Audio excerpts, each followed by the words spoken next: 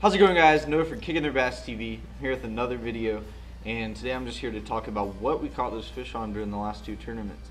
We had a tournament on Lake Martin which is a high school bass open. I'm sure you guys have seen the video to that.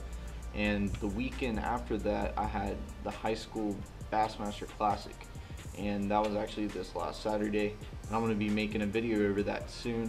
Um, some of you guys on Instagram are seeing a sneak peek to that with some other cool footage from the video that I've been working on. So um, stay tuned for that. And if you haven't checked out the Lake Martin video, go check that one out. So now I'm going to talk about the baits. I had two main baits that we caught the fish on during the tournament. My partner did as well. Um, one was the drop shot, which I don't have here because we didn't catch those during the Bassmaster Classic, but that's what my partner caught them on. But our main baits were a jig, and this is by Chattahoochee Jigs. And the second bait was a fish head spin by Swarming Hornet Lures.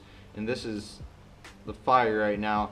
Um, everyone's talking about it because of Casey Ashley won it on the Bassmaster Classic. This is what everyone's talking about. And I'm telling you, this is an extremely awesome bait. I will not step foot on the lake without it. Um, it's pretty much one of my number one baits, a jig and a fish head spin. So my combo that I have the jig on is the Legend Xtreme by St. Croix Rods, and the reel is an MGXtreme by Abu Garcia.